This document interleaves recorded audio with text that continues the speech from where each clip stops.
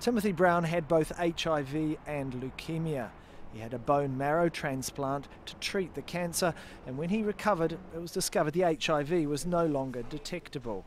Scientists were reluctant to call it a cure, but now two more men, both who had HIV and blood cancer, have had a similar treatment and seen similar results. All three were given high doses of chemotherapy and radiation. This killed off their existing sick bone marrow, the body's blood factory. Healthy stem cells taken from a donor's bone marrow were then put into their blood in a process like a blood transfusion. These stem cells then found their way to the bones and started to grow and produce healthy blood cells. By continuing antiretroviral therapy during the time of the transplant, we could protect these otherwise susceptible cells from becoming HIV infected. These cells then wiped out the immune system of the patients, replacing the immune system with these healthy donor cells that were uninfected and thereby eliminating HIV. Antiretroviral drugs, which suppress the virus and stop it from spreading within the body, were continued after the transplant. Now, though, the two men have been off them, one for 15 weeks, the other for seven, and still there are no signs the virus has returned.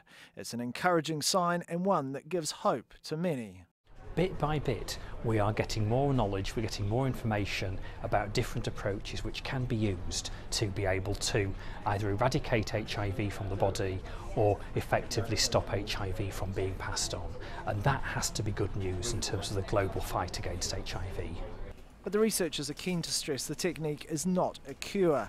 They would want to wait until the men have been off their antiretroviral drugs for at least a year before making that call. They also admit that it can't be offered to all HIV sufferers. Bone marrow transplants are expensive, and up to half of those who have them die. The transplant procedure itself is, uh, uh, uh carries with it significant risks, is really limited to patients who have cancer and require a transplant to treat their cancer.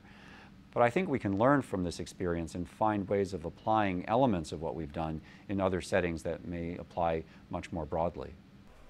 For Timothy Brown, the promising results have also had a much more personal dimension. If they're cured, they're going to be um, other people that will add to the club of people cured of HIV, which is very small right now. His recovery signalled a possible new approach to tackling HIV.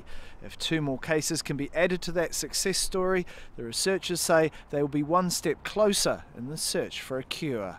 Tarek Bazley, Al Jazeera.